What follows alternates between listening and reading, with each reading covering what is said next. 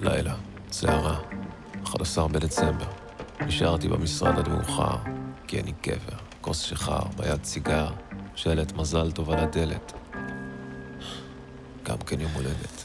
ואז היא, ספוגה בגשם, נכנסה לחדר. מהרגע הראשון ידעתי, לא יצא מזה שום טוב. היא הייתה מלאך רטוב מהסוג המסוכן ביותר. עיניים שהיו גורמות אפילו לי להתמסחר. מטריות יצאו מהאופנה? שאלתי. היא אמרה, סליחה? היא טפטפה על הרצפה שלי יפה ושותקת. הייתה מבוכה, קיוויתי שהיא תבין את הבדיחה. אם הייתי בן אדם, הייתי מגיש לה מגבת.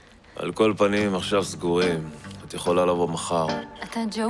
מי שואל? שרה בנט. שם מוכר. למדנו יחד בתיכון. אתה זוכר אותי? לא, צר לי. אמרתי רק להראות לה כמה לא אכפת לי. אבל בעצם כן זכרתי. עבר זמן רב, זה מגוחך. ושאלתי את עצמי אם זה אומר שכן אכפת לי בהכרח. טוב, שכח מזה.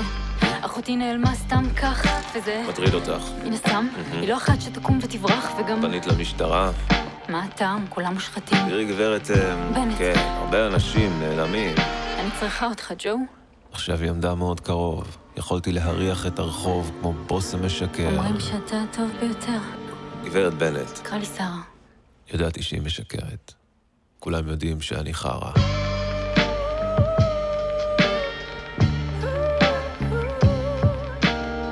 שמתי את מוזיקת הזיונים שלי, ולקחתי אותה כאילו אין מחר.